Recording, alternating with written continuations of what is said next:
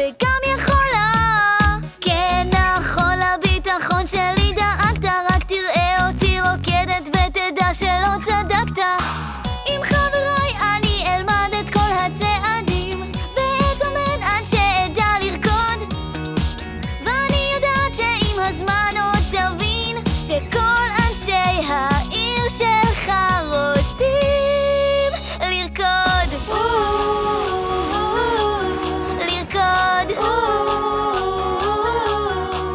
אבל סיליה, אצטרך לחשוב. לסכן אצבעות זה בהחלט לא טוב. אזהר, זאת הבטחה, אך לפעמים צריך לזוז.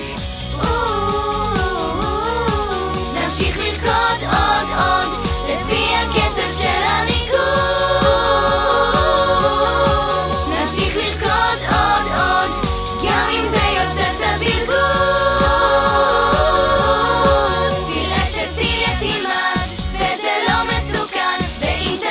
גם לרקוד, תבין שזה הזמן לתת לכל אנשי העיר שלך לרקוד.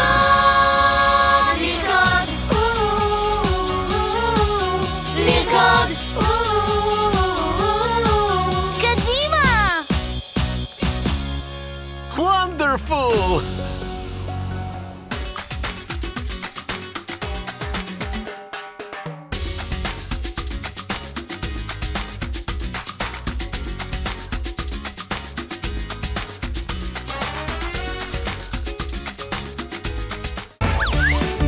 Junior.